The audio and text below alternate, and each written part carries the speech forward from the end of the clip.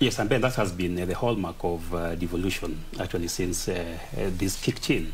We find that uh, most counties stopped or they are not getting as much revenue from their own source.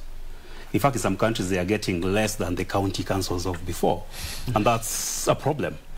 The counties must use devolution to enable local capacity, to enable production.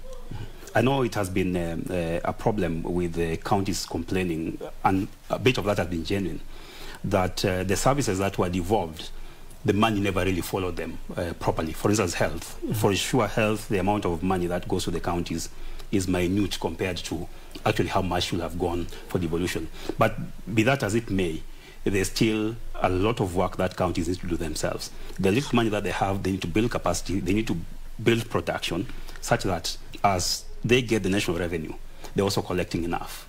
And if they don't collect enough, then that deficit will be growing year in, year out. They'll be asking for more money from national government. They'll be collecting even less. And even the less they collect, there's a lot of pilferage and wastage.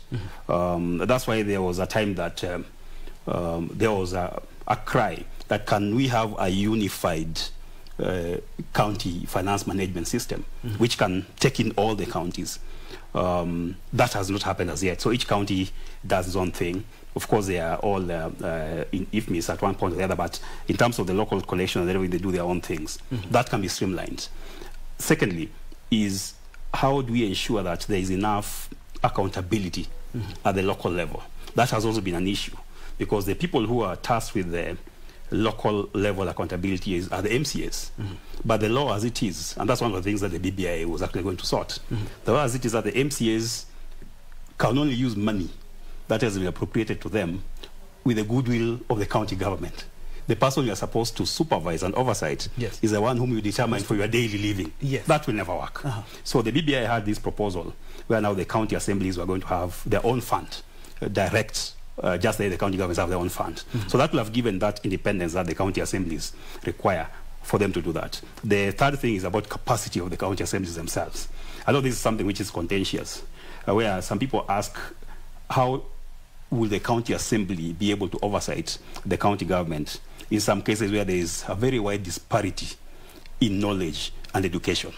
Is it time that education qualifications for the MCAs, for instance, is relooked at to the level where the constitution actually thought it should have been? Because this has been suspended now twice. It is debatable. Some people say you don't need academics for you to lead, mm-hmm. but in the other case, you are never going to comprehend mm-hmm. complex matters yeah, if you are not able to have that knowledge and the skills to do that.